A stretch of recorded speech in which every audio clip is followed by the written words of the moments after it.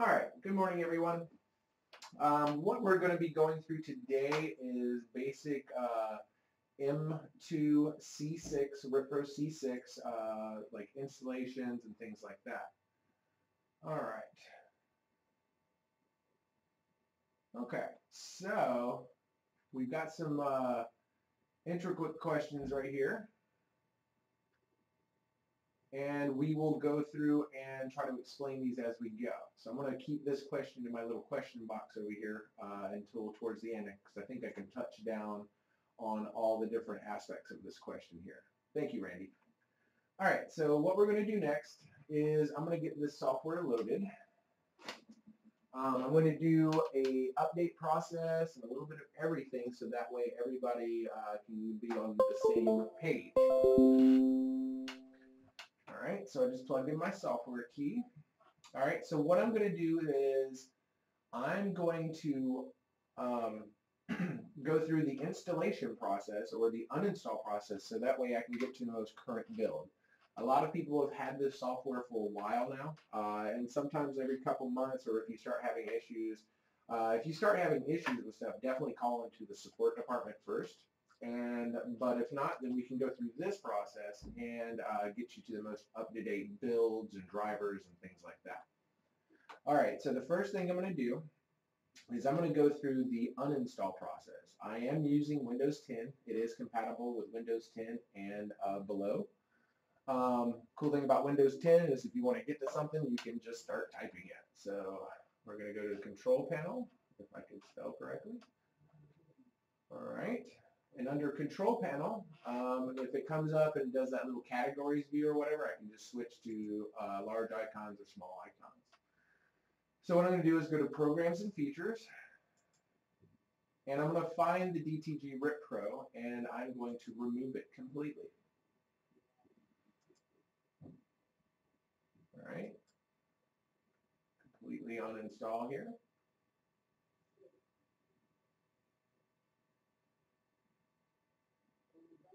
All right, I'm just going to go to remove. Completely remove, yes.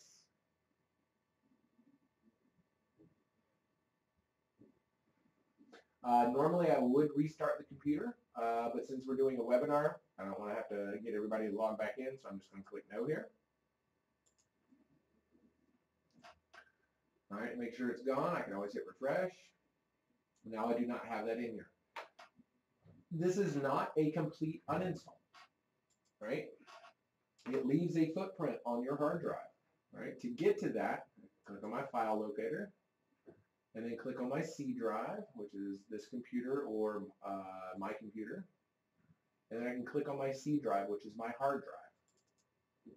Right? And then I see this right here, my DTG RIP Pro uh, C6. If you have a lot of custom platens that you have already built and dialed in, you can save your media folder, all right? The media folder basically has all the different platens in them, okay? So if you built custom ones or prefer the ones that you have, you can just basically make a copy of this and then paste it into like your desktop so that way it will uh, you can paste it back into the new install so that way you can keep going. Okay, so let's just go ahead. I'm going to just remove this folder so I start from scratch here. So I'll just go to delete. Okay, so that is a fresh uninstall. I'll go ahead and get rid of my icon down here. I'll see if there's anything left in my apps. There's nothing under my D's here for uh, DTG. All right, and then I'll go ahead and empty my recycle bin. Okay. So to find the most up-to-date build of our software, it is always posted on our website. All right, to get to our website, you have the, let me go back to the home. All right, this is support.coldesi.com.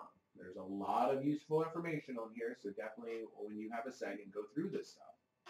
All right, so since we're dealing with DTG, and we're dealing with RIP Pro. I'm going to go down here to the RIP Pro setting. All right, so under RIP Pro, you have some of the different levels of software that we've sold in the past. If you're not licensed for any of these, do not try to download them. They will not give you any kind of information or let you use it or anything like that. All right, but there's a lot of different information in here, like even holding errors, like if this pops up on you, uh, setting up your media, um, plugins, all these different things that you can go through. All right, so definitely when you have time, go through this stuff. The more you know, the better you'll get at using this. All right, and there's also installation instructions as well. All right, but normally I would click right here on my download. All right, it'll come up and it'll download a zip file. Right, just so I can show you. It will download to my downloads, and it'll look like that. It's a zip folder. So what I do, I don't install it from the zip folder. I always like to extract it to say my desktop. Okay, since this has already been extracted, because it does take a couple minutes for the download depending on your internet speed because it's a pretty large file. I have already downloaded it and I have also extracted it to my desktop here.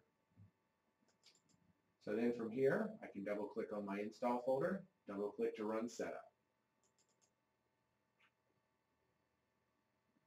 Depending on which language you want it, you can go through there.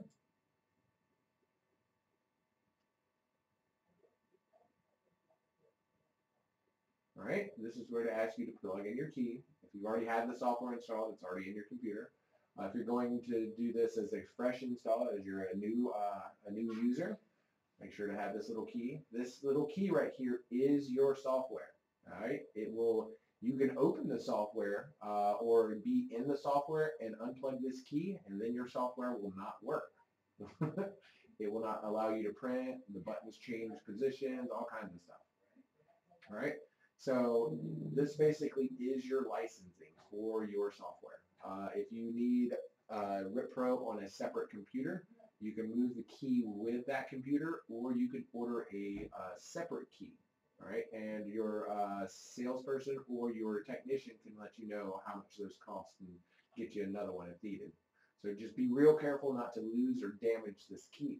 Uh, and just a, a, bit of advice, don't put it on the front of your computer if you're if it's down underneath your desk so you don't take a chance in kicking it or something to that order. All right, we're going to hit next here. Um, if it comes up and says uh, where to look for it, which it already kind of looked for mine, it knew where to get it from, but you would look for the CADlink uh, just so you can see it. Over here on my drives, I have the CADlink key. Under the CADlink key, it has my license files. All right, so I'll click on Next. I will accept my license agreement. I do the complete install.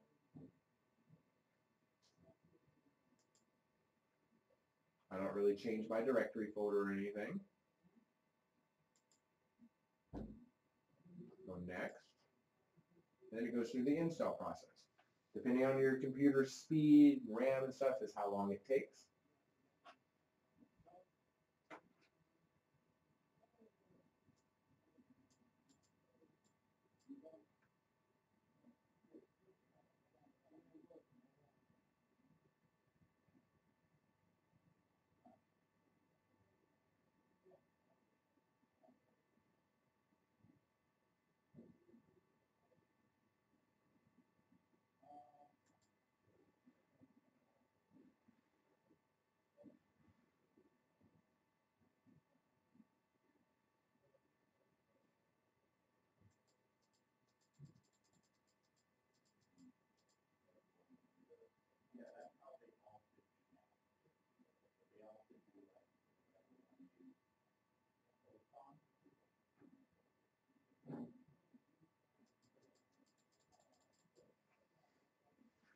Okay. So once this finishes and everything, I do have some suggestions. Uh, since I've uh, come back to the ColDesi at the beginning of this year, I've started playing around with all the different print modes, uh, color profiles, and things like that to make it uh, the best quality prints uh, to go out. Um, there are certain print modes that you can choose from, but the ones that I prefer as of right now, and there is stuff still going on development, uh, for color profiling. Um, but uh, I'll give you my suggestions and then you can work around from those.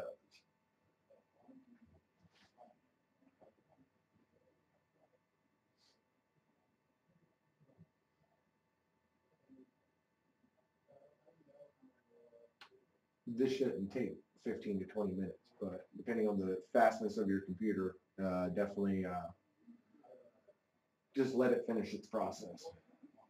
All right, and this is another spot where definitely I would restart the computer, uh, but since we're in the webinar, I'll just go ahead and hit now. All right, so this is a step that I always like to go through before I do my uh, initial setup of my uh, software. I like to check to see if there's any manufacturer or software updates. So to get to that, you can go to All Programs or All Apps, scroll down to your setting uh, where it says DTG RIP Pro C6M Series, and then I can click and check for updates. It'll bring up a separate little window right here. And I can check, I don't really have the update on my computer because I've never downloaded it, so I'll always check the manufacturer's website. Click on Next. Then it pops up my update wizard.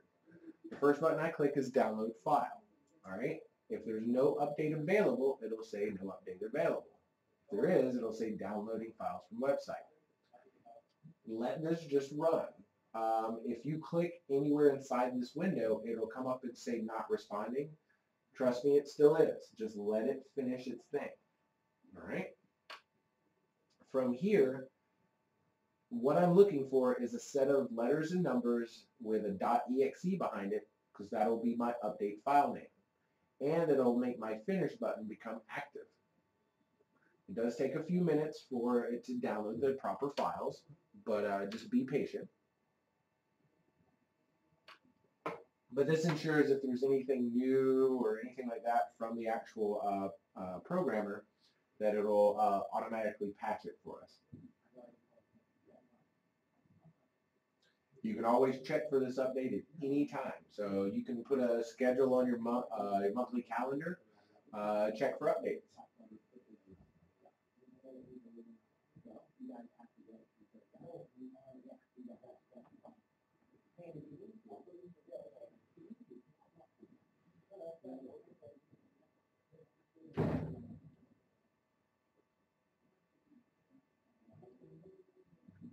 Um, while this is downloading, uh, one of our um, employees here, Michael Georgievich from Coleman Company, has a question for us. Yes, sir. Um, When, when you have a chance, Mm-hmm. uh, gentleman down in the Keys, Mhm. um, place an order I can't explain, so I'd like you to help me. When you have a Excellent. Not a problem. Okay. uh, Michael Georgievich is the director of Coleman and Company, our supply company. Uh, we all work here hand in hand, trying to uh, offer the best service to our clients. So we sit there and go back and forth with like new products and stuff like that to see if it's something that makes like the DTG process a lot easier. Okay, so now that the update file name has popped up in here and my finish button has come up, I just click on finish and then it starts the patching process. It's pretty easy. Just hit start. What this is patching is giving you the most up-to-date color profiles. And just to give you a little explanation of what like color profiling is, uh, the programmer, what we do is print out spectrums of color and use a color spectrometer to scan those. And then it basically uses color theory saying this is the output that is being produced we need to make adjustments to get to this color what it should be. So it's ever growing and everything like that. So um, it's just one of those things you just have to kind of keep up with. So I'll go ahead and hit finish here. Update wizard is complete. So then I'll go back to my start menu again and go and what I want to do is make an icon for my um, RIP software so I don't have to keep going into this menu to get to this software. So what I can do is right click on the actual RIP Pro software here and then I can pin it to my start menu so it's always up at the top or I can go to more and pin to taskbar. It'll drop an icon dot right down here on the bottom. Since I use this a lot, I'm going to move it down here to the end. You notice I have my icons for uh, my RIP software, my Photoshop. Uh, Bridge is another little thing that we'll kind of touch on as a, an exploratory uh, program. So it gives you like icons of all your different graphics in one place. But we'll do that later on in more of an advanced class for the um, uh, for the uh, uh, Photoshop class. To get to the update file, just to kind of show you from scratch here, we did have a question from one of the attendees here. To get to it, you just go to your Start menu, All Apps, or All Programs, and scroll down to your RIP Pro folder, and there's the Update DTG RIP Pro C6 in series. Okay. So now I'll go, anytime you do an uninstall or reinstall, it's going to be like you did a fresh install from scratch. So you'll get this little screen when it first pops up, first time setup. All right, and then you have what measurements of display, uh, the numeral places, stuff like that. I just leave these alone. All right. Next, it'll come up. You just kind of go through self-explanatory stuff. Uh, once you get to this screen right here, we have to choose the printer that we're installing. All right. Once we come here, these are all the different printers that we've sold over time. All right. For the M series, you'll notice that there's a couple of them here. You have the M4. Unless you own an M4, do not download these. All right. Then you have two versions of the M series: the M series normal and the M series P30i. This is a new one that just came out probably about mid-year or so. But I've also had a lot of complaints on vibrancy issues, uh, things where the the samples, like say you got from your salesperson, are not as vibrant as the ones that are coming off your printer. The reason being for that is these have uh, lesser of a print mode for the color modes and things. Um, and for right now, until I get with the actual programmer, I just as a suggestion uh, from a tech, I would use just the regular M series um, queues here, not the P30i. And that's my personal opinion. All right, so I'm going to install just the regular queues here. And it doesn't matter if I'm using the genuine um, uh, the genuine DTG ink, which is uh, the DuPont Artistri, or the P30i inks that are exclusive to ColDesi. So these are uh, just to your preference. You can download both of them, so you can have both sets of queues if you want. So, but it's totally up to you. But I, for this webinar, I'm just going to use the M series here to, and then go through and optimize them as well. All right, so I click OK. I always search the online server for the best packages.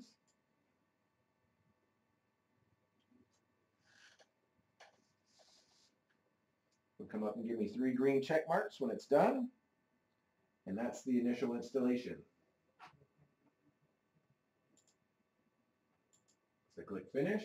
Software will open up. And this is my RIP software. Okay. So what I'm going to do is get this kind of prepped up um, and make it just a little bit more efficient to use. Uh, so that way it's clean, it's um, uh, like kind of step-by-step -step type of thing, so I don't have to look around for things. I don't have to click through a whole bunch of different platens. Like it installs like M4 platens here. I can get rid of those. Let's go through and uh, take a look at that. So what I'll do is just close my RIP software down. I'm going to go to my file locator again go to my hard drive, C drive, and I'm going to double click on the DTG RIP Pro M series. So inside here, after I uh, optimize my queues and stuff like that, I can even make a backup of this folder right here, my queues folder. So that way if I do go through an uninstall and reinstall process, I can reinstall these queues just by uh, copying and pasting them in here. Same thing with that media file that I did before. But under the media file, what I'm going to do is get rid of a lot of these platens that I don't need, like the M4s and stuff like that. You notice there's a whole bunch of different ones in here, but these are just uh, like driver information. This just comes with uh, basic printer, motherboards, and things like that. So we just leave those alone. So what I'll do is get rid of the M4s. I can hold the control key and do multiple selections. Just hit delete. Um, I can rename these any way I want. All right, I can even get rid of these bigger ones if I need it as well. But the ones that will pop up in the RIP software, like you saw earlier, just these main uh, top ones. But I didn't want the M4 in there. Alright, so I'll just close that down, reopen my RIP software. So that way when I click back on my Platens here, those M4 ones are no longer in there.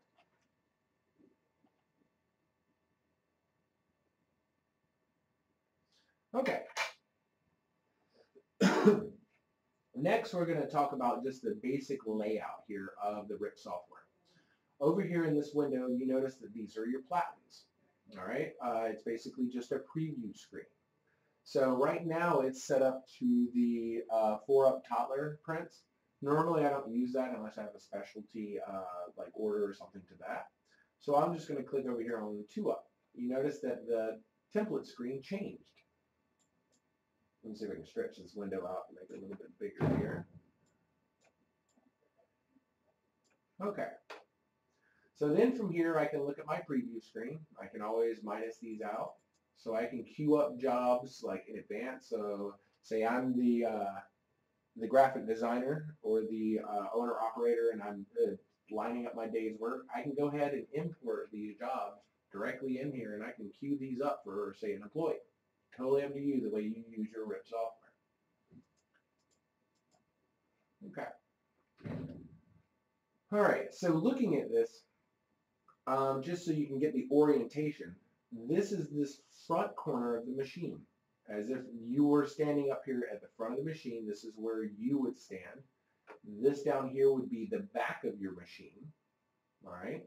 So this would be the corner, if I'm standing at the front of the machine, this would be the side, this particular platen area would be on the right-hand side. Uh, my print head carriage would be docked over here, and my control panel would be over here on this side. It's basically printing upside down. Because you've got to think, back in the day when this, before this printer was converted over to print t-shirts, it was probably a roll printer. So the roll of paper is coming through the back of the machine and ejecting out of the front.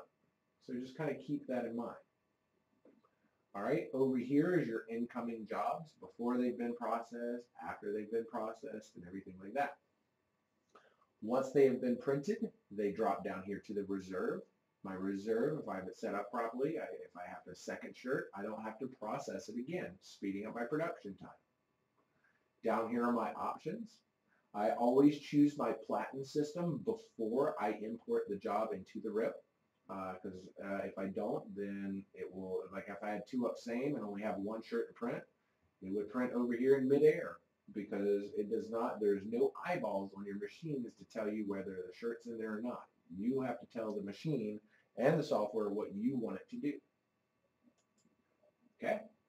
Over here, margins, these always stay zero. These will move these platens around and stuff, and you'll be all set printing. It's a pain in the butt to get it back to where it needs to be. All right. Next is you can control different aspects of your underbase or your color layer. Those aspects of being, am I printing in bidirectional mode versus unidirectional mode? Unidirectional is off, bidirectional is on. What bidirectional printing? As the print head slides across, it's laying ink down. Bidirectional, it's laying on the way back as well. All right. With that in mind, these there's drag of that ink behind the uh, print head. So those little drag lines have to match up to each other so that way you don't have what we call bidirectional blur. That deals with the gap of the machine, those little load lasers, and how close the shirt is to the print head. Can't be touching it or you'll have clogged print heads, but it can't be too far away or you'll have blurry prints. Um, once we have those, we can actually, if you are noticing that you have blurry prints or something to that order, um, you can actually take pictures of those and email those to your with your support ticket so that way the technicians can look at them and give you suggestions whether it be leveling your platens, um, adjusting your gap, or adjusting your artwork. So there's all a couple different things that you can do to make these adjustments, but you, if you don't do the adjustments in the proper order, you can, it's self-defeating because if one's out of whack and then you try to adjust to something that's out of whack, then both of them are out of whack, if that makes sense. Okay. The next thing down is your passes. This is basically how many times the printhead tracks over itself before the platen advances to do the next line of ink. All right. For the underbase, the default is 2. If you're having issues with your underbase, like dropping ink down in the wrong places or something like that, bumping that up to 3 can, uh, can help you out as well. But it also slows down your underbase passes. All right. Your color is always set for 3. So that way it has nice, good coverage. Right. Return to origin for the M2, it'll always stay on. All right. This was here for some of the older equipment, say the Viper or stuff like that, that was on a belt-driven system, so you could make it eject to the back of the machine versus the front. So that will have nothing to do with your uh, M2, but always make sure that it's on. All right, vertical offset. I would not start messing with vertical offset until you get some advice from your support technician. It will only be used uh, if your white underbase is peeking out the every single time, the exact same distance, in the exact same location. Okay? Because it only affects the north and south of your uh, underbase or your color layer. It does not affect the left or right, or east or west. Okay? So meaning that if I was on my underbase, I can increase like how far it goes away from the zero zero. So if my underbase, my white was peeking out towards the front of the machine, I can actually move that white layer down, but it does it every single print. So if you're not getting consistent uh, peek out every single print you do, do not adjust this or it will affect everything you do. But if the uh, white layer is below uh, the color layer, then you would have to adjust the color layer instead. Okay? Reason being, you can only push away from the front. You cannot pull from the back, if that makes sense. If you need more clarity on that, or you're having something that you feel that you're having an issue, please create a support ticket and attach pictures with the, uh, after the shirt's printed and it's still on the machine. Uh, so that way we can see which way it's peeking out and uh, give you the best advice on how to correct that issue. Okay? So that's just the basic layout down here. Up here you have your uh, different queues. You have your categories versus what the actual queues and the predefined settings underneath that category. You have your basic tool buttons up here, and then you have your drop-down.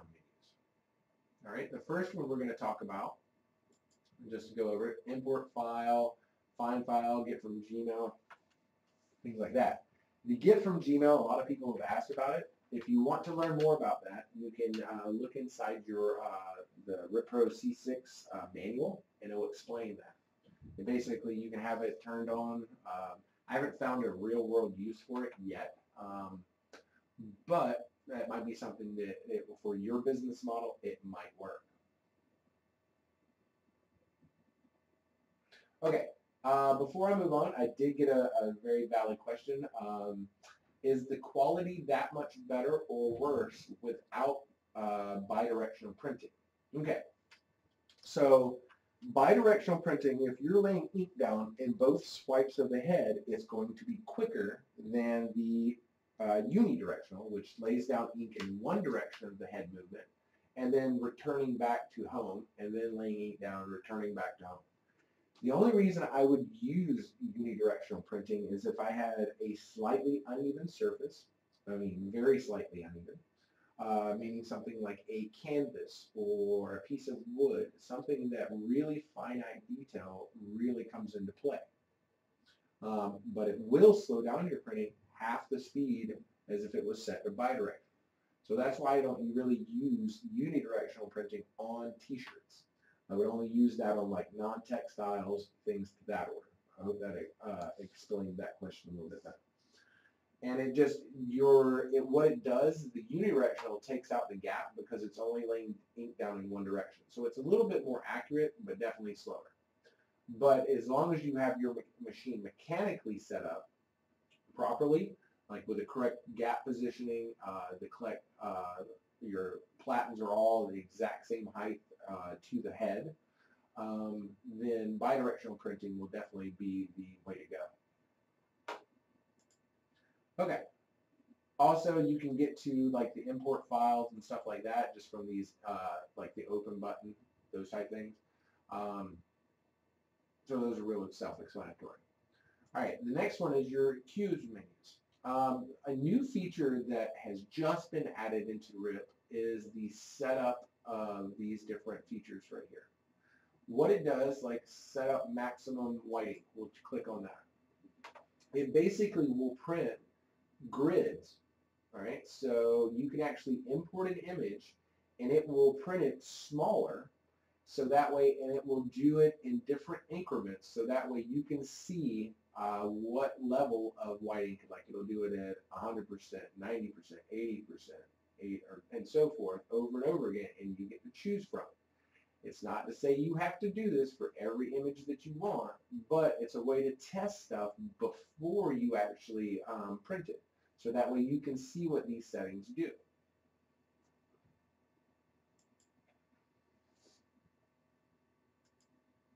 So say I wanted to see what the black removal setup. Say I've got an image with a piece of photography on it. It has a black background, but I'm not sure what to set my uh, knock me blackout to. Uh, once we get into the actual queue settings, I'll show you how to adjust the knock me blackout and try to give you an explanation of what it does. But this gives you a visual of it. So that might be something you want to play around with on your uh, on your own. All right. But also under my queue drop-down menu is my manage Queues. For that first initial install, I definitely want to come in here and adjust these things. I can move these fields around so I can see what they say just by moving the little uh, in-between headers here. All right. Something else you'll want to do is set your ports. Okay. Under ports, I don't have a uh, machine in my webinar room right now, so it does not show my Mutoh driver in here. Yours will come up and say Mutoh such and such with USB 001, 2, or whatever number it may be. Once you click on that, it will choose and say, do you want to do multiple queues? If you click yes, you notice it populates them all. All right, yours, just go ahead and just so you're seeing it right now, yours will not say printer USB 001. Yours will have Mutoh in there. I do not have a, printer hooked up to this computer right now, so that's why I just put it there. So I'm going to put it back to file just so nobody puts that back where it should be. All right. But if you have it set for file, it'll just come up and say, where do you want to print it to? Uh, what file? So you don't want to do that. You want yours to say the Mutoh driver right? Also right here, your control panel. You do not want to hit install. What this does uh, is basically install a Windows driver that you'll never use because you can't control like what's going to it, what your print field is, what it's going to look like. You don't get any previews. So just don't click on uninstall. If you have, you can always click remove and it takes it away. Um, you have your groups. If you're going to create custom queues and stuff like that, you can group them into certain ones for predefined settings, kind of where they show up, what tabs they show under. Um, if you had multiple printers, right? You had two different printers or and things like that. You can even install a separate set of queues if you had two uh, two printers. So you have one set up to one USB and one set up to the other. Make sure to label them properly so that way you, when you send the job over, it sends it to the correct one. All right. So what I like to do is I like to move these queues around so they're a little bit uh, easier and in kind of like a sequential order. So what I'll do is take my bottom one uh, that I want first, move it to the top, and then the second to the bottom one, move it to the top, so that way it kind of pushes them down. So the white ink only I don't use the most, so I'm going to make that one my bottom one. And then I will go to my white shirts. Let me scroll down a little bit.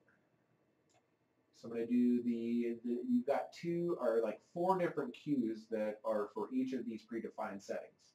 You have fast and best uh, with graphics and then fast and best without graphics. The difference between these two, one's a graphics print mode, one's a photo print mode. All right, you could rename these if you want to put photo in between those. It's just kind of redundant. All right. The difference between photo and graphics, your photos are for your uh, things with skin tones, all right? Uh, something, because if you use the graphics print mode to print photography that had like a, per, uh, a photograph of someone, they look like they have a spray on tan. It oversaturates those colors, all right? So some, but the only way to really tell it the way it's going to work is to print it, all right? And then as you get further into using this stuff and the way it affects graphics, you'll start to recognize it does similar things every single time you use these queues. So once you notice how a queue works, then you can start choosing and you can look at your graphics from the get-go and be like, okay, I need to use this queue for this because I know it's going to do this if I use this queue. All right, so let's move these up here. My white ones up first. And you notice that I'm doing the, uh, so the way it comes in, just so you can see it, I'm pushing up to the top. So I did my white only, then I did fast, best, fast, best. So that way I'm putting them in a sequential order so they're easy to understand. So that way I don't have color down here and color down there. It's just personal preference.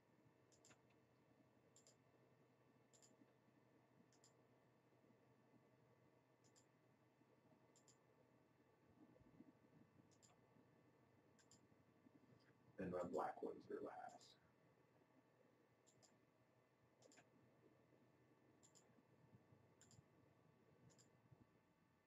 Alright, so now they're all grouped together.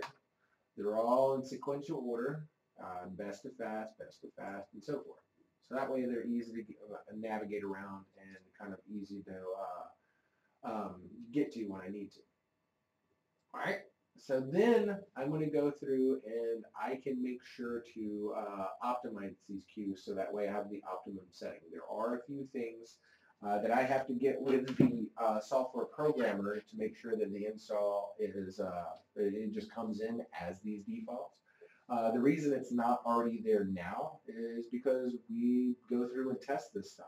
Um, and this is just over time, once we find out what we want to change, then we go to the programmer and be like, all right, can you make it look like this? So it still functions the exact same as if I didn't do all this. I just do this to make it a little bit cleaner looking. Okay. So then I'm going to go through and check out my queue properties. All right. Before I go into the actual properties here, you have those three three main categories: your black shirts, your color shirts, and your white shirts. Am I limited to printing black shirts only in my black shirt queue? No. This is just the name of these categories, just to give you a help, okay? your machine and your software have no eyeballs on it. So if I had a blue shirt and I printed in the black shirt queue, is it still going to print it? Yes. The only thing that's, that these do right here is they're predefined settings. All right, so the difference between these, my white ink only, what it does is take a graphic and print the graphic in just white ink. All right, so sometimes I might have to invert it. We'll come back to the white ink only so I can explain that a little bit more thoroughly, uh, but that is a useful tool. But you have to sit your artwork up properly so that way it does it properly. The white shirt queues basically turn off the side of the print head that prints with white ink, all right, and it only prints with a CMYK, no underbase. So that instead of it being a white shirt uh, name, I could call it no underbase because that's basically what it does. So regardless of what color shirt I put in there, it's going to print it with no white ink. All right. So to give you an example, if I wanted to print uh, navy blue to a baby blue shirt, print it, no underbase. The blue will be a little bit darker on the shirt because it's mixing with the blue of the shirt. Same thing if I wanted to say print red to a pink shirt, right? You notice these are corresponding colors. Say I wanted to print royal blue to a yellow shirt. Those are not corresponding colors because they mix together and then I would have green lettering, right? So you got to think about corresponding colors or not. Um, it's just basic color theory. Like you have your primary colors, which are your red, blue, and yellow. And then you mix two of those together and it gives you your secondary colors and so forth. So it's just some of those uh, color theory type things that you kind of keep an eye on. But to say if I did want to print royal blue to a yellow shirt, then I would have to use either one of my underbasing uh, queues, which would either be my color shirt queues or my black shirt queues. Now the color shirt queues, the thing that you have to worry about on those is your graphic has to be on a transparency. It cannot be a flattened image. It cannot have a background. Because if it does, then it will print a big rectangular box of white ink. Yeah, might look neat, might look like a big square of white ink around your image. Probably not desirable. Your customer might not like that. So getting rid of backgrounds and things, that's where your graphic software comes into play. Um, the graphic softwares that are kind of the staples in the industry right now, you've got your Adobe products, which are Photoshop and Illustrator. Um, then you have Corel. Corel is a, uh, a little bit cheaper of a program out there, but it is a vector-based program. It doesn't really handle, say, JPEGs and bitmaps very well. You have to recreate those or trace them to, or create from scratch. Uh, whereas Photoshop is a raster-based program uh, where you can actually just delete pixels. So if you want more descriptions of that, once we get into the webinar, keep an eye on it. I haven't got an actual date for it, but we go through and explain uh, Photoshop and uh, things like that and printing from Photoshop. All right. So the main stipulation with the color graphics or, uh, or the color uh, queues is the you have to have a transparent background or no background at all uh, for that to print properly. The black shirt queues uh, has a feature turned on it. It's the exact same as the color shirt queue except for this one feature and it's called knock me black out and that's why they're called black shirt queues uh, because it knocks the black of your graphic out so that way it uses the black of the shirt to be the black of your design. All right. The also on an artist level or a graphic designer level, that gives you the ability to design onto a black background.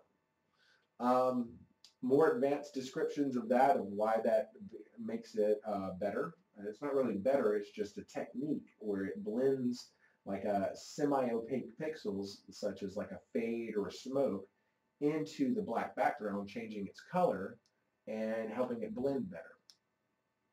So depend, depending on what your graphic look like, what your graphic looks like, um, if you want black, black to print in the design or not, if your graphic doesn't have black in the design and you're, say, printing a green shirt, but you also have smoke on the edge or real faded edge, um, you can actually put your graphic onto a black background and put it into the black shirt queues so that way it gives that effect but it doesn't destroy the graphic or make it look weird on, say, the green shirt.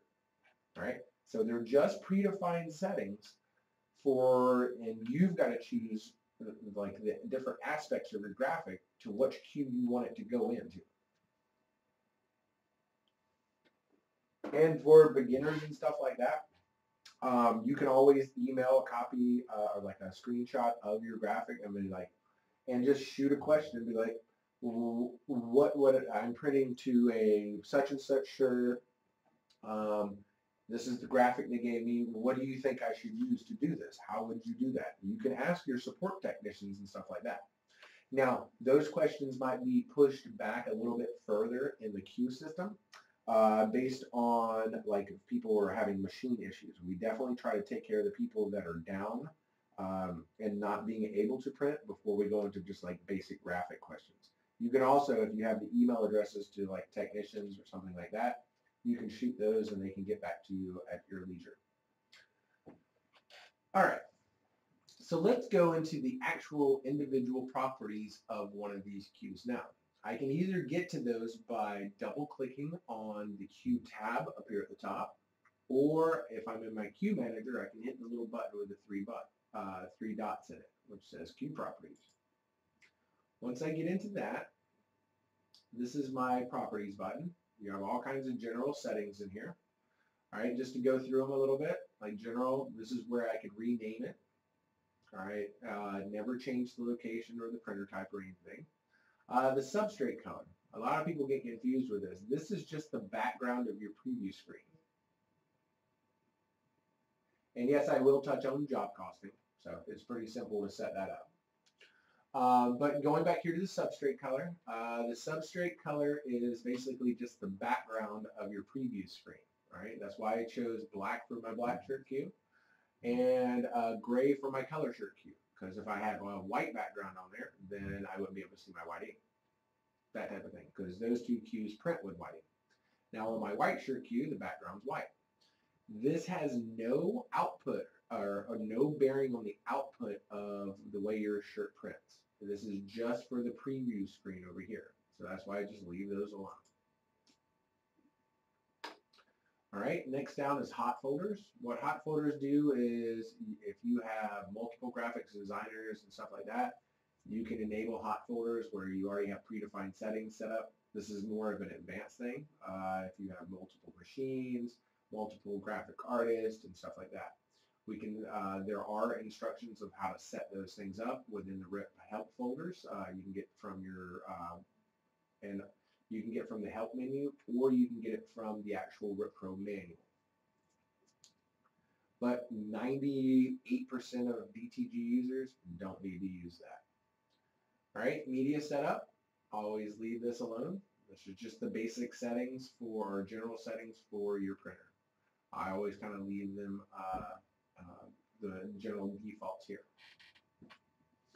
Uh, printer status, job reserve, if this is not checked, um, then you probably want to have it checked. What that means is once I rip something and I've already printed it, it'll drop it down here to my reserve. If I did not have save spool file on the job reserve, what that would mean, every time I want to do a second set of shirts, I would have to re-rip it, which slows down production. Time is money in this industry. The quicker you can get stuff on and off your machine, the quicker you're going to have money in your pocket. All right. Next, crop marks. We'll never be using crop marks. You might ask yourself, why is this even in here? Um, this, this is an OEM RIP. It runs several different types of equipment, all right? We just have individual drivers that we're using for our RIP. So some of these features in here you won't use, but just don't use them if they don't apply to you. All right, under print mode overrides, your printer options. These are not enabled when you're in a layered uh, um, uh, profile or a queue. Same thing with like ICC profiles, halftones, stuff like that. Um, unless you are really good with ink color systems and know how to do profiling, don't mess with this stuff, even if you get into the actual print modes and things like that. Once you start tweaking stuff and thinking it's going to do this to try it, you're going to mess it up. so if you need to get into a higher level stuff like that, if you have that information and you know what you're doing, please, by all means, go through it. Um, there is in the RIP Pro C6 manual that you can download on our website. There will be some more uh, in intricate discussions on this or uh, explanations on what it is. So take a look at it if you want. All right, the next is your layer profile. This is what I do use a lot when it comes to my um, uh, setting up my RIP software. These are where all your settings are. Looking at this screen right here, you can you have an underbase and a color mode, all right? And then you have the mode, the print mode that is selected for each one of those, okay? I can add different layers. I can take layers away. I can rename them if I want to. But generally, for a dark shirt, you have an underbase, and then you have color. For a white shirt, it would only be color. We don't even have layers enabled for the uh, for the white shirts. All right. So looking at here, I want to know what my options are. So show processing options. So this is where all my actual RIP settings are, where the way it's going to actually print. Over here, the default for when it gets installed, the maximum ink is set at 90%. All right, so it's going to be 90% of its capability for the M2. If your white ink is not printing nice and thick, two things. You either have this setting too low or you do not have enough pre-treat on your shirt. Um, that's assuming that you have a good nozzle check. Then you got to go through, am I having ink starvation? Am I, is my print head clogged? Those types of things. But if you want just a little bit more ink to come out, you can bump this up to 100%. All right. Looking over here, these are my underbase options. If I have none, that means there's no underbase. There's no options. I want to change my underbase, then I have my underbase options. Then I have highlights as well. You can't really print highlights during an underbase. What a highlight is, is printing white ink during the color pass. And we'll come back to that in a second. All right, so underbase strength. A lot of people will think this is how much white ink comes out of my system. Technically, yes, it does control the amount of white that comes out, but it's not how you control the actual percentage of ink that comes out. That's the max ink percentage. What the underbase strength is, is how it affects white ink under dark colors. All right, so self-explanatory, 0% uh, white underneath black. Well, we're not printing black ink in this queue because it's the one that has the knock me blackout turned on. So, but if it's just lower than the color black, it's not a true black, say like it's a forest green or a navy blue, those darker colors, then it prints just percentages of ink underneath them. But if you want a just a solid white underbase underneath something, turn it under 100% white under black. Right? So for the default, for the black shirts, I just leave that at 19 or 0%. Maximum ink, if I want it to see how good or capable it is, turn it up to a 100. If that's printing too much white ink, it's puddling and your uh, color ink is going onto it too quickly, then it can uh, bleed or kind of smear out or something to that order. That's when I would drum this back down to like 90 or even 85. Or say I'm doing the left chest logo. I want, it, I want that 100% ink, but it's um, putting too much white ink down in too quick a time. It's not, the white ink is not congealing over. So yeah, I'll drum that down to maybe 90% so that way it prints a little bit less white ink, but still puts the color on top of it. Next is you have your choke. What choke does is it actually shaves off the edge or the pixels at the edge of your underbase. So that way, when the color goes on top of it, it's tucked up underneath the color. So that way I don't have light peeking out. Now this is on a pixel level. All right, this is not like if you have a millimeter or so sticking out, this is not what you're going to use to fix that. The kind of sweet spot that I found is around 5. All right, you can get lower, so be it. It's not going to really make your prints look any better. But if you do go over 10, if you have little lettering, it will actually shave away so much white that the underbase underneath that lettering will go away, but it will still print the color on top of it. You never really go above 10. All right. Then you have your knock me blackout settings. All right, knock me blackout is on a threshold. Just to kind of give you an example here, I'm going to show you, like, I'm going to get y'all to use your imaginations a little bit.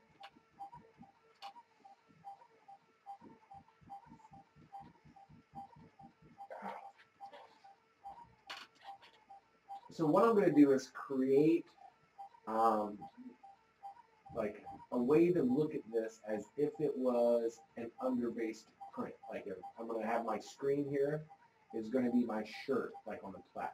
So let's see, let's just go, let's just open up something random here. Let's go pictures. We'll just use this as an example. Let me change this around a little bit so that way y'all can see it a little bit better.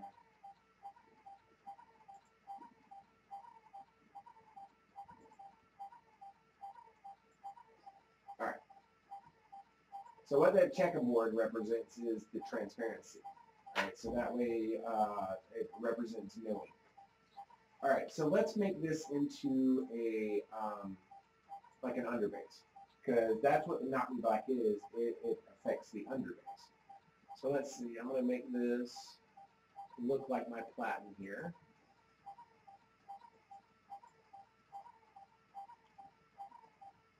Three point five.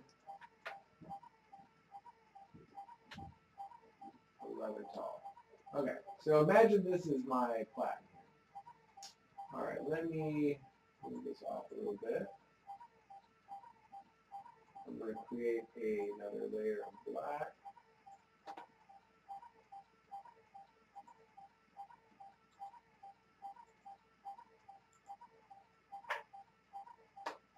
Go back over to this layer. What is this layer? That is Oh, that's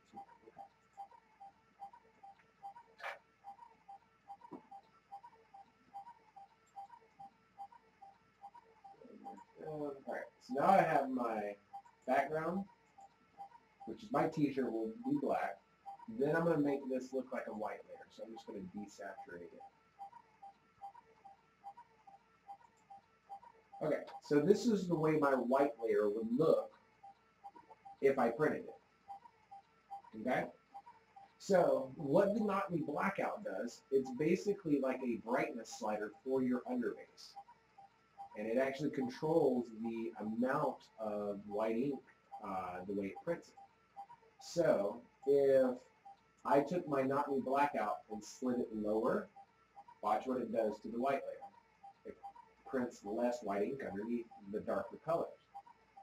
In turn, if my not be blackout slider is higher, it floods it to the point where it might be too much white ink underneath it.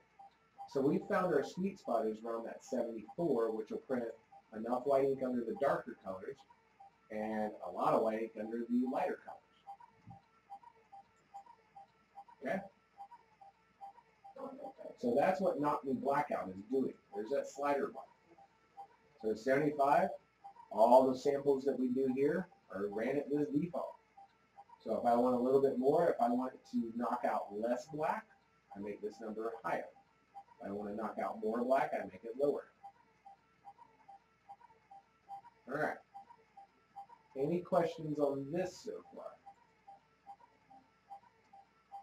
Alright, thank you. Alright, so now we're going to go over, uh, just so I can click on it so you see it, primary and clear options. You'll never use this stuff.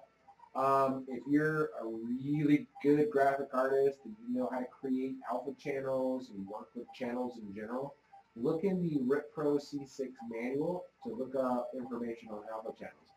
My skill level isn't even as good as that. I'm still teaching myself how to create type things, but what this would do is be able to give you the ability to create your own custom underbases uh, before you even send it over to the print.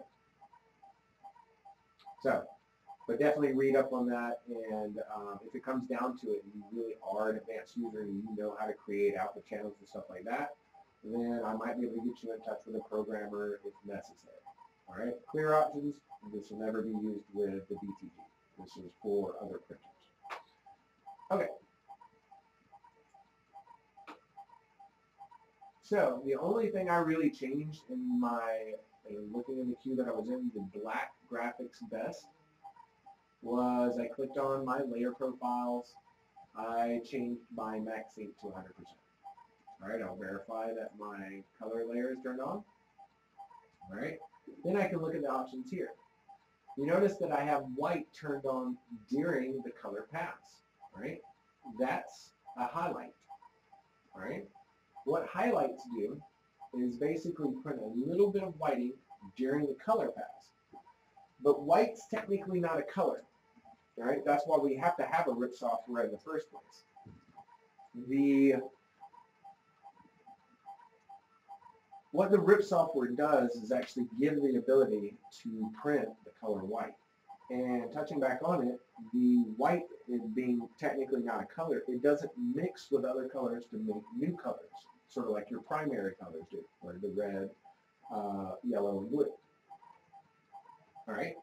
So that's why we only do it at like very small percentages, so that way it just hits those visibly white areas with a little bit of whiting, just make them pop just a little bit more right? And it takes uh, kind of like a, a just an eye uh, to figure out because every there is no blanket setting for every type of graphic that this setting will work for. This is where that learning curve comes in that you just kind of have to print to see how your artwork is affected with these settings and then make adjusting adjustments accordingly. Okay, so now I'm just going to click OK on this. And then I'm going to go back over here to my fast. I don't think there's anything I need to change in here, but I'm just going to go through and check real quick. Alright, see all my chokes there, my inks there, the inks there. Color layer is the correct one. You notice that the uh, versus the best and the fast is your print modes that change. The best one was 1440 by 720, whereas the fast ones are 720 by 720. Um, it's how fast it prints. 720 prints with less ink, whereas uh, but faster whereas the quality prints at a higher resolution, which puts out more ink, but slower. So who's to say which one's better? Your customer is, not you. Alright? That might be throwing y'all for a loop right now. Alright? We print on a daily basis. We are our own worst critics. Alright?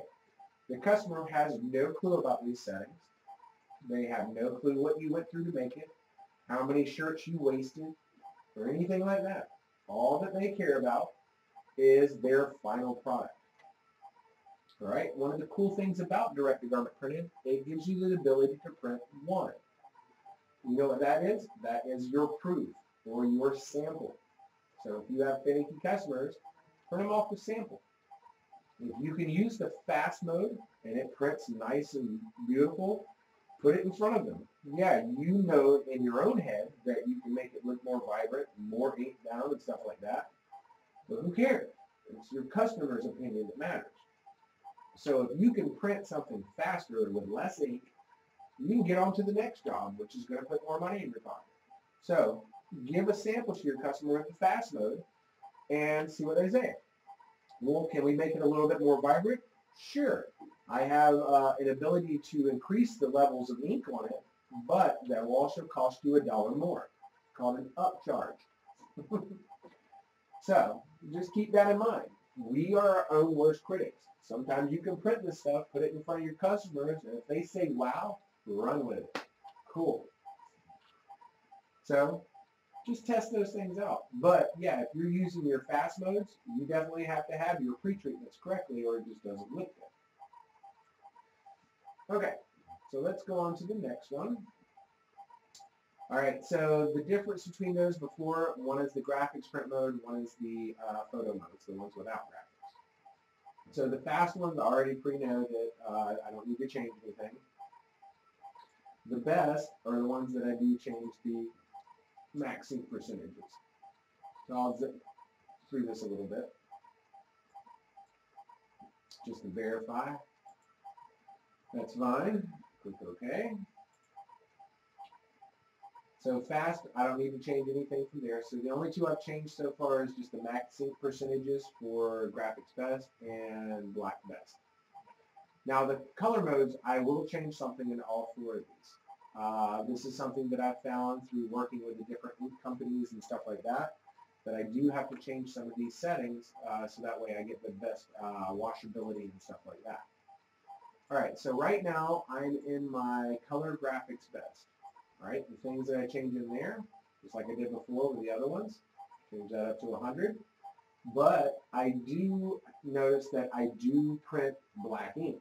All right, so the Knock Me Blackout is unchecked. And going back to that explanation, the difference between the two is with the color queues, I have to have a transparency, no background. Uh, the black queues, I can have a black background. That's pretty much the only difference there. All right. The way the ink system works, the colored ink is not designed to go on the dark garment pretreatment, right? It won't bond with the fabric as well. That's why there, for the P30Is, there's a light garment pretreatment, right? So if I am putting the dark garment pre-treat, no matter what color shirt it is, and I'm using white ink, if I just put color ink on top of that pre-treatment, it will not bond with the fabric properly, and you will have washout quicker than the rest of the design that does have white. So for my color shirt print modes, I like to put a little bit of white ink underneath my dark colors, including black. Right, black being the darkest color. So that ensures that when my color ink goes down onto that white ink, it will bond. The color ink is designed to bond with the white ink. The color ink is not designed to bond with the dark garment pre-treat. I hope that makes sense. All right, so the next ones, even though they're not in here, I'm going to put all my chokes at 5, just because I know that they print well out of my black queues. So this is where I kind of find my sweet spot. And I don't see any uh, image degradation or anything like that, even if I'm doing small lettering. Alright, so the things I'm changing in my color queue here.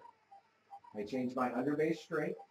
Um, if it is printing too much white ink underneath your black and kind of making it gray looking, make it to a smaller number, but you do need at least a little bit of white ink underneath every color pixel. Alright. For my color layer, nothing I changed there. So the only things I changed, once again, are my underbase strength. I took it up to 50% under white. Like I said, if you want a little bit less white ink, you can choose one of the other numbers. Just something above uh, 20 or above. I changed my max ink from my best one to 100%. Like I said, if the white ink is printing too much out of that, then you might want to make that smaller. Alright, choke, I just put it up to 5 because I know it's going to work. You can test that out um, anytime you want. Alright, if you are doing testing and you change some of these queue properties, for them to, to take effect to the graphic that's in your queue, you have to re-import it. If you've printed something and ripped it, it locks in those settings of that particular job. You would have to re-import your graphic again for the new settings to take place. Always remember that. So, changing my strength up to 50%. Sorry, at 100, change this to 5. Alright, nothing to change there. So now I've got uh, these to do. Color without graphics. Same exact thing. Once you've done this a couple times, go really fast. Oops.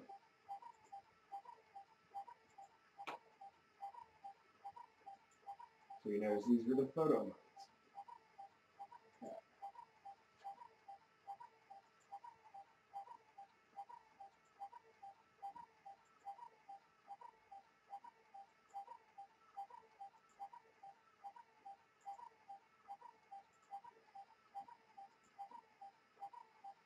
Done. Now the last one, now the last ones I have to change here are my white shirt modes. The only two, the defaults for my fast ones are perfectly fine. Just so you can see them, 720 by 720, which is my speed modes, white shirt graphics. That's fine. Now the programmer has made a little mistake here, so that's why I always go through and make sure people are putting this under the right ones. This is 720 by 720 with underbase graphics. So that is completely the wrong print mode for white shirts because it's not an underbase print. So what I have to do to change that is go in here. Since I'm working with my white shirt graphics, white shirt graphics. That's what it should be. So then I have to just click OK. Also, you'll notice that I have no layer profiles because they're not enabled. They don't need to be enabled because it's no layers. It's just one single shirt. All right. So the other one, I do have to change the white best, but instead of the white shirt graphics, it needs to be white shirt photos. All right. So then I click OK. So that's the basic optimization of our RIP Pro queues.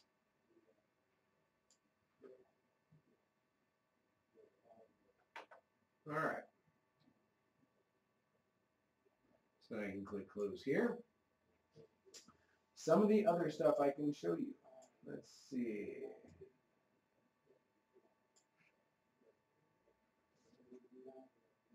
So under the queue drop menu, if I have uh, if I have hot folders, I can start queues, stop queues, because the only way those really work um, I really don't even mess with those because I'm basically printing one run at a time because the machine does not automatically reload.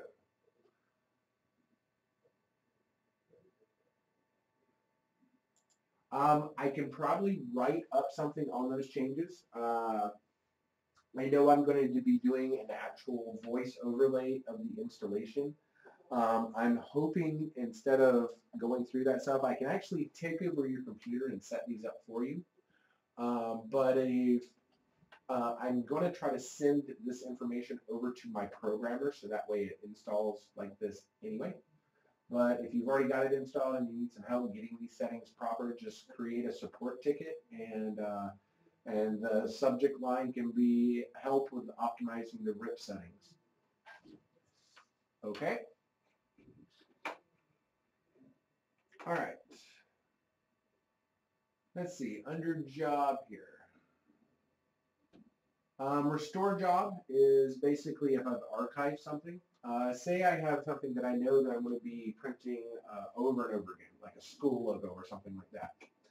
Uh, and it's always going to be in the same position, same colors, uh, same size or same place down on the shirt, things like that. After I've printed it, it's all approved, I know that's going to be the job. Then I can click on Archive Job. It's this little button right here, and it puts it into an archive folder. Uh, when you click on Restore Job, then it comes up, says what job you want to restore. Choose that job, it brings it back into the RIP, and then you just hit print. And it's the exact same print job that you did before. Some people never use it. You don't have to. It's totally personal preference of the way you use these tools to get your jobs done. Other things, uh, remove, a page, those are all the same buttons that are on uh, here on the toolbar here. Under device, you have manage devices. So if I had different types of printers, say an M-Series and an old Viper, I would have both of those devices there. You can always come in here and check for updates from the printer packages. If you click on it, check the web for updates.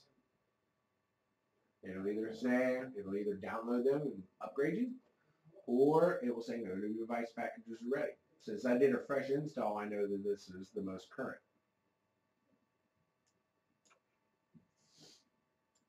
All right, manage print modes. You can mess up your print modes really bad if you don't know what to do with these. All right, say I'm in my underbase. Do you know what separation curves are and how they affect stuff?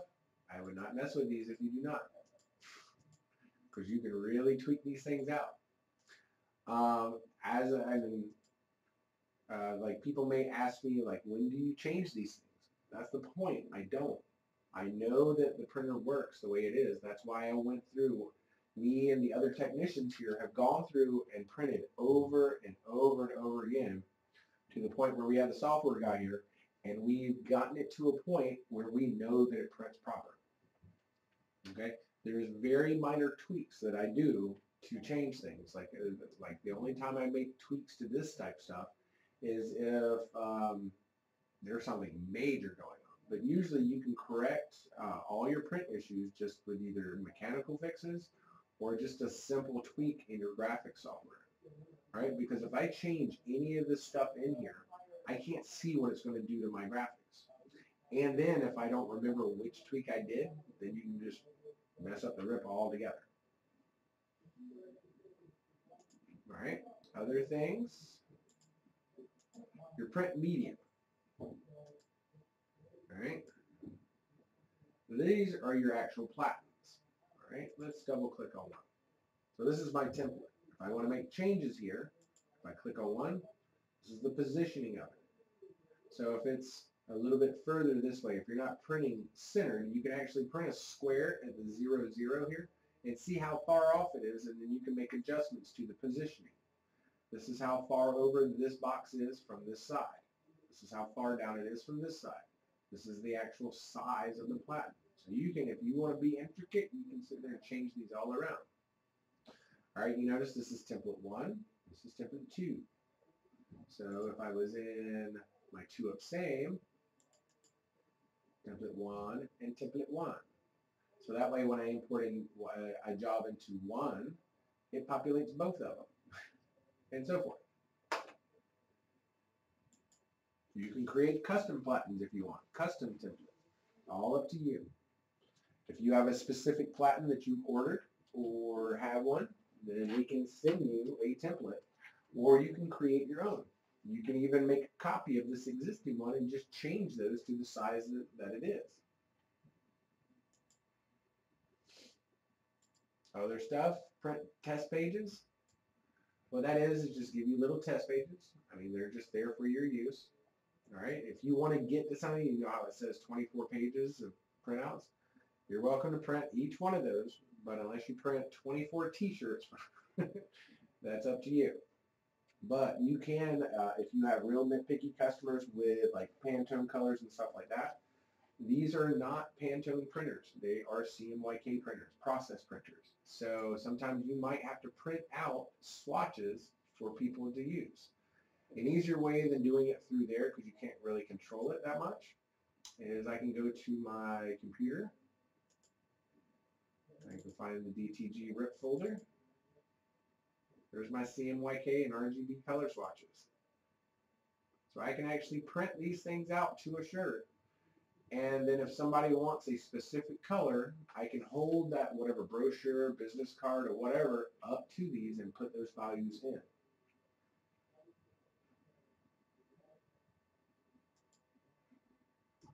All right. Under options, I can change my previewing. I never really mess with this stuff right here, unless you don't want the splash screen to come up. Little things like that. The, the defaults work fine. They don't really affect the output of the printing. Right? But I do like to change my preview options. If I have a faster computer and have a good graphics card and stuff like that, my preview can look very similar to my uh, file that I'm putting in there. But always take into effect, always take into account, this is a preview screen. This has nothing to do with the actual output of the printer, right? The only thing I usually use my preview screen to as a telltale is if I'm, say, in the black or my color shirt queue and I have a big white box around my graphic, I'm not going to hit print because it's going to print a big white box around my graphic. That's what I'm paying attention to when I'm looking at my previews. Okay.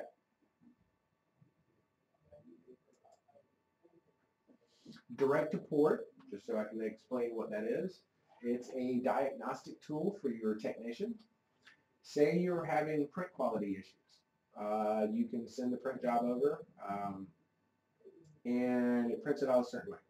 So what I can do is I can take that same graphic, process it through my RIP software here, send you a PRN file, and you can drop it into direct to port, and it bypasses your RIP software and uses my RIP settings to print it out. So if mine looks better than yours, using the uh, using your printer, then we know that it's not your printer that's messing up. All right. If the and vice versa.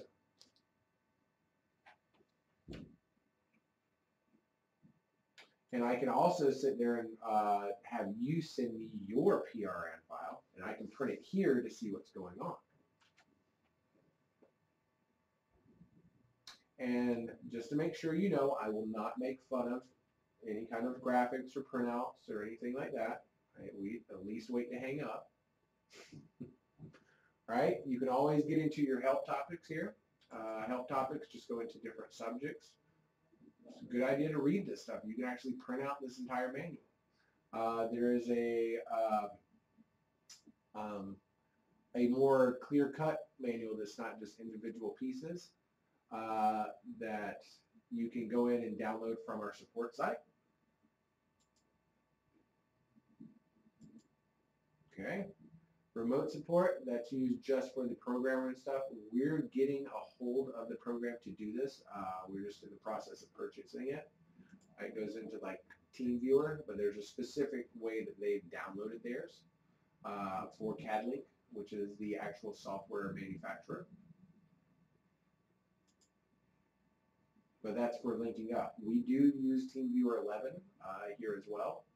Uh, so that way we can go through and uh, take over your computer, upload files, um, see what your screen looks like, um, change your default settings, those type of things. All right.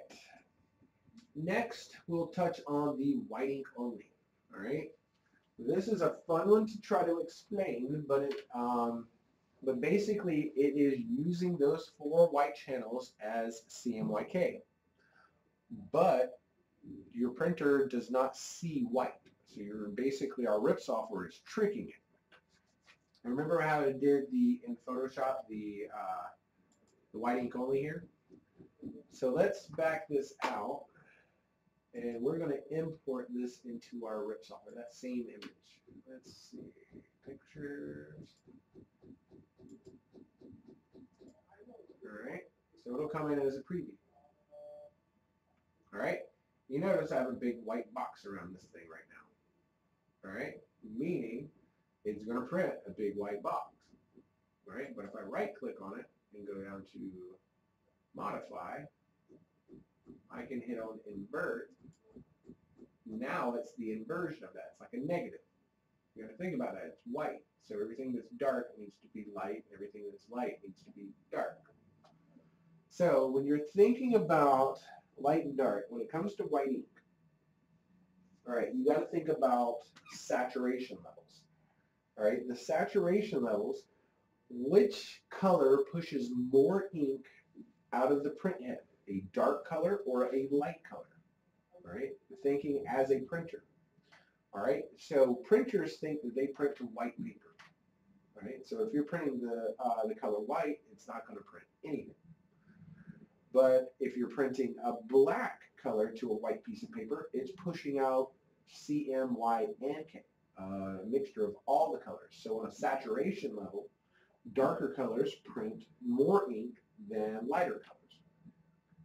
So when we think about uh, sending lettering over to the RIP software, so keep in mind, black will be the darkest color.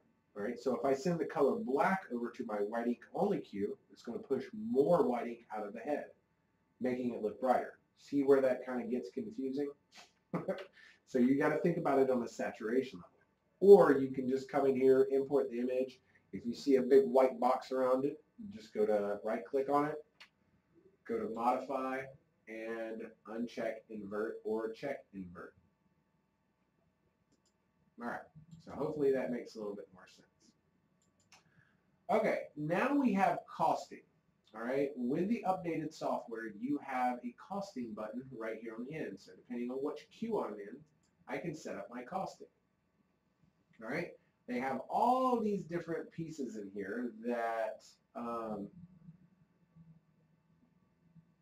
that I can go through and put in values for, like surface treatment, material cost. If you want to set up these, because there's so many different variables, like tax rates and stuff like that, me personally on a printer level, I just want to know what the ink cost is. I can figure out the, the, uh, the labor costs, all that stuff after the fact. All right, depending on what you purchase your liters at, and if you're purchasing cartridges or whatever, or I'm sorry, uh, for the M2, you're purchasing it by the 8 ounce bottle, by the liter, by the gallon, whatever it may be. You need to break down those numbers to um, to whatever the liter cost is. All right, so that way it gives you an accurate reading. All right, so yeah, let's just to give you uh, an example here. Let's pull this in.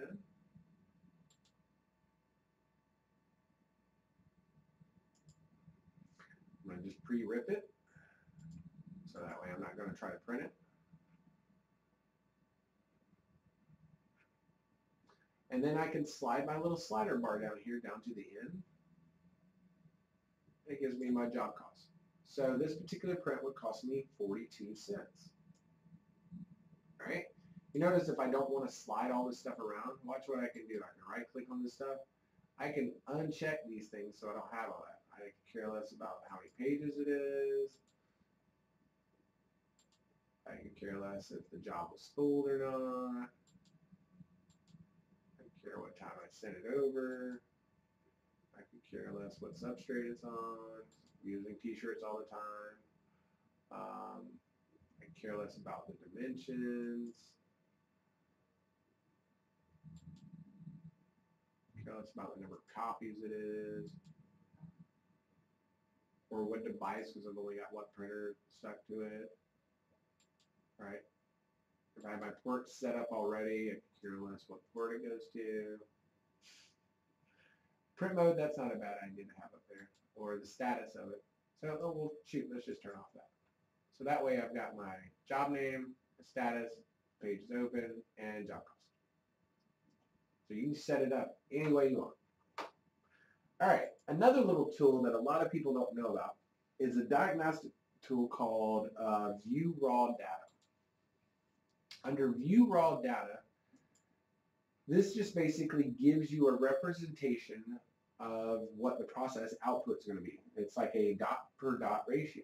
So let's click OK here. And what it does is it processes the page on a level of I can actually see the dots. So you have this little screen that pops up here and it gives me my substrate color. If I really want to see what it looks like, I always change the substrate to like a gray and then click OK. So that way I can really see what the white's going to do. Right, and then I can cut off certain channels. Like this is a white ink only, so that's why you're only seeing white. But let me zoom in here and let me show you what it actually is, what you're looking at here. This is a dot per dot ratio. This is what your printer's printing. It's pretty neat to see. But there, what would be a reason to use this? All right. So say I'm getting, I printed something and I'm getting little white speckles, like all in random ass areas. All right. Well, let's see if it actually is something that's being processed, those white speckles. So if I looked at this raw view and saw little speckles everywhere, yeah, that means it's in my graphic. But if it's not there and it's printing that, that might be like I'm having droplets of ink. Maybe I have a leaky print head or something to that order. Um, so yeah, it's, it's a, a tool, but it's not to say that you have to use it. Uh, if you see the little tracking bars going down like this, don't try to move stuff around. Uh, this is a hell of a piece of code on a computer level that it will definitely confuse it. So let me show you with what it does to like a color layer. Let's go into the color shirt mode, import that same DTG logo, which has color in it. I will right click and it, I could either hit uh, spool job or rip only, same thing. Once it's been processed, then I can go into my raw view. Click OK. Now this does not give me accurate color representation, but it does give me uh, the way it looks, uh, or the, the dots and stuff like that.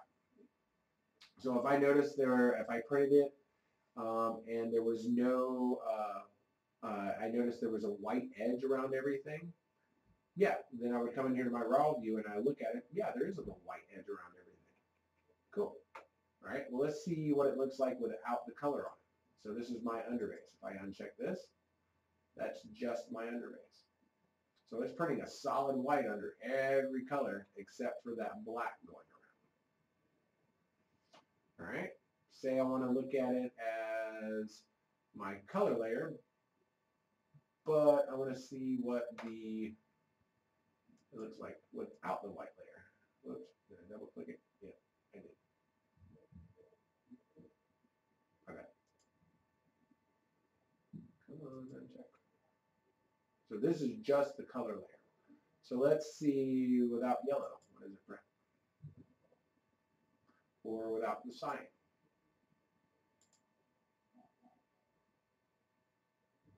or that white. So this is what the magenta channel would look like. This is what how much cyan I'm printing.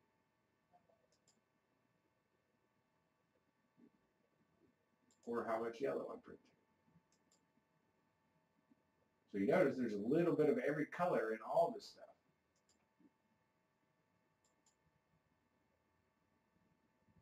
So those are my accents, things like that. Just a diagnostic tool has no bearing on the output of your uh, printer. It's just to see what's literally printing. Okay, so are there any questions as of right now uh, about understanding your RIP software? Let me bring up my little question field here. Let's see what we got.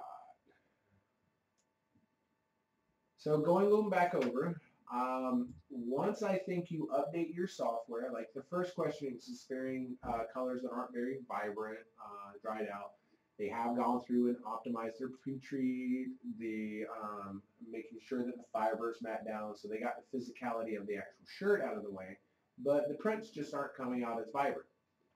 I think if you were using, say, the P30i queues, uh, and then actually went through the uninstall and uh, reinstall process using the queues that we did this morning, that you'll get a lot of better results. Okay, if you're still having, say, something like bidirectional blur where like a skinny line is printing two instead of one, I would definitely get on the phone with one of your support technicians and uh, we'll get a couple pictures, a couple test prints and stuff like that, and then we'll go through the process of getting you to adjust your platen levels, your gap settings, your lasers and stuff like that. All right. We answered the questions about bidirectional. We touched on job costing. All right. You can series on and it makes a huge difference. All right, so it looks like one of our customers in here, Randy, um, went through and updated the process and is stating that just using the M series versus the M series P30i has made a huge difference on the output of his quality. So, if you have any questions on this stuff, definitely don't hesitate to get in touch with uh, a couple of the technicians here, and uh, we can definitely answer some questions for you. Okay. So this demo definitely went over time, but I hope that doesn't, hope that didn't uh, upset anyone. but yeah, I did record this one, so I'm going to go ahead and hit stop as of right now. Um, uh, but before we do that, let's go ahead and um, I'm just going to touch on some other stuff of where you can find some of this information. Um, if you want to know about future webinars, uh, you can always come to caswebinars.com. Uh, from their homepage, uh, it has a bunch of different information, even about some of our other products like uh, embroidery, spangle, rhinestones, uh, things like that. You can always click on the tips and training calendar and it'll have all the different webinars that me and a couple of my colleagues will be doing when it comes to like embroidery, rhinestoning, that type of stuff. Um, if there are particular um, uh, subjects that you would like to touch base on, definitely don't hesitate to email me or any of the people here or your salespeople, and we can see if we can accommodate to that. Also, just to touch base with creating support tickets. Anytime you have a particular subject, like say under DTG, click on that stuff. But if you can't find the answer inside this information here, down at the very bottom, open a support request. Put in your name. Put as much information as you can in here. Uh, like the callback number, making it easy, no, or something like a cell phone or something to that order. Add your emails in. Okay. Under subject, like into uh, print quality issues. Then get a description of what's going on, so that way we can better be have our like pistol loaded with suggestions to give you. Also, a lot of people, if you just go ahead and do this from the get-go, attach your files, like take pictures of the bad prints that you're having and upload them into your ticket so that way we can already take a look at it and just give you a quick answer and then get you back running instead of having to be like, all right, you have problems. All right, can you send us pictures of it? And we have to wait for those to email in, and then we're going on to another ticket and then coming back to your ticket. So we're just trying to make it a little bit more efficient for you. Okay. So hopefully this was very informative. Um, like I said, if you do have any more specific or very uh, tailored questions or anything like that, don't hesitate to get in touch with uh, any of us and we will definitely be looking forward to hearing from you.